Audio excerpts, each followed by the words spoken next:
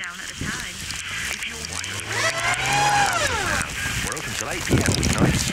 We Fit at Halfords, making your money go the extra mile. First of all, the news information regarding the snow and the ice. We're here for you 24 hours a day on FM, DAB, and online. This is Metro Radio. Just gone midday. Let's get the latest now from Joe. Yeah, just to bring you some breaking news, we've just heard from Go Northeast on their Facebook page that they won't plan to suspend their services early this evening. They say any decision to suspend services early will be purely based on safety grounds of both passengers and staff. The decision will only be made once they have a forecast and knowledge of road conditions later today, but at the moment they say there are no plans to suspend their services early.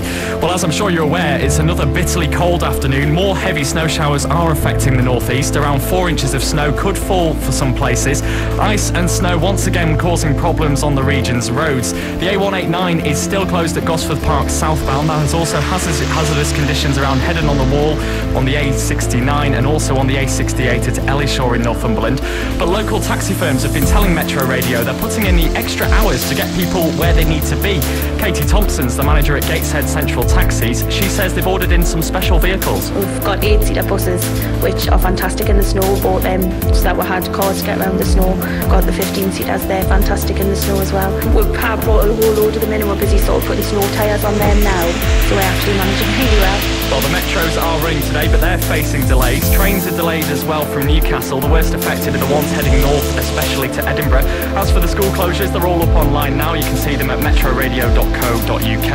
And David Beckham, David Cameron and Prince William have been pulling out all the stops presenting England's final World Cup presentation, the result of who will host the 2008